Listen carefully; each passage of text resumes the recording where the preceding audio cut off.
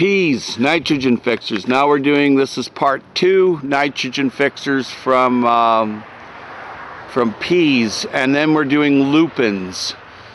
So we've done radishes, now we're doing peas. And I learned this technique from watching squirrels. Yeah, watching squirrels, that's where he gets his technique from.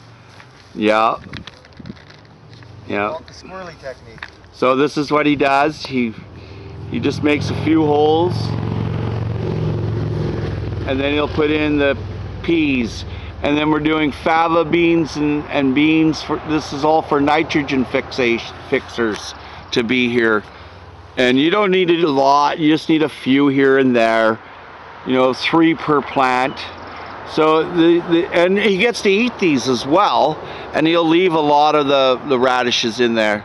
So this is Howie Jones and this is uh, the Rocky Hill Food Forest and uh, it's getting planted with nitrogen fixers. We've done the radishes, now we're doing the peas, then we're doing the beans, and then the lupins.